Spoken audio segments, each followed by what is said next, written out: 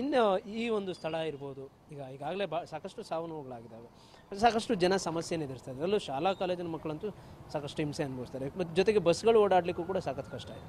So ಈ ನಿಮ್ಮ ಈ ಒಂದು ಗೌರಿಶಂಕರ್ ನಗರ ಇರ್ಬೋದು ದತ್ತಾನಗರ ಇರ್ಬೋದು, ಈ ಭಾಗ ಸರ್, ಈಗ ನೀವೇನು ತೋರಿಸ್ತಾ ಇದ್ದೀರಾ ಅದು?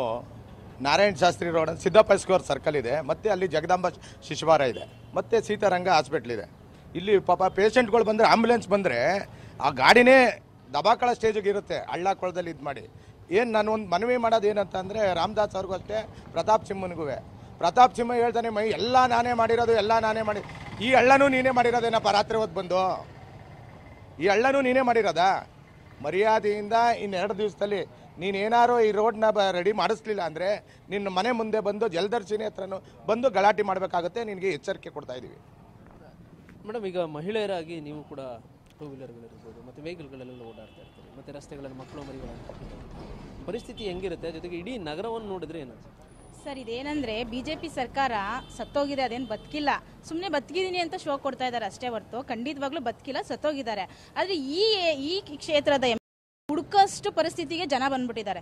ಯಾಕೆಂದ್ರೆ ಅವನು ಈಗ ಮೋದಿ ಬರಬೇಕಾದ್ರೆ ಫುಲ್ಲು ಶೋ ಅಪ್ ಕೊಟ್ಕೊಂಡು ತುಂಬಾ ಓಡಾಡ್ದ. ಏನಂತ ಯೋಗ ಡೇ ಮಾಡ್ತೀನಿ ಅಂತ. ಆಗ ಇವರು ಯಾರ ಪ್ರಧಾನಿ ಮಂತ್ರಿಯವರು ಆ ಎಂ ಎಲ್ ಎಗೆ ತಟ್ಟಿದ್ರು. ಏನಂತ ತಟ್ಟಿದ್ರು ಅಂದ್ರೆ ಯಾರಿಗೂ ಕೇಳಿಸ್ಲಿಲ್ಲ ನಿಮ್ಮ ಮೀಡಿಯಾದವ್ರಿಗೂ ಕೇಳಿಸಿಲ್ಲ ಅನ್ಸುತ್ತೆ. ನಾನು ಅರ್ಧ ರಾಜ್ಯ ಹಾಳು ಮಾಡ್ಬಿಟ್ಟಿದ್ದೀನಿ ನೀನು ನಿನ್ನ ಕ್ಷೇತ್ರನ ಹಾಗೆ ಹಾಳು ಮಾಡ್ತಾ ಇದೀಯಾ? ಅದಕ್ಕೋಸ್ಕರ ನಿಮಗೆ ಸಭಾಷ್ ಅಂತ ಸಭಾಷ್ ಗಿರಿ ತಟ್ಟಿರ್ಬೋದೇನೋ? ಅದು ಯಾಕೆಂದ್ರೆ ಯಾರಿಗೂ ಕೇಳಿಸಿಲ್ಲ ಅವರು ಕಿವಿ ಮುಂದೆ ಹೇಳಿದ್ದಾರೆ.